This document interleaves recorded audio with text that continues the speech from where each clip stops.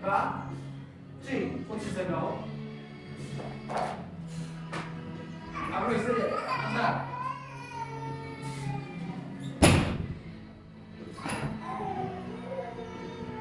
Neumíš poslouchat?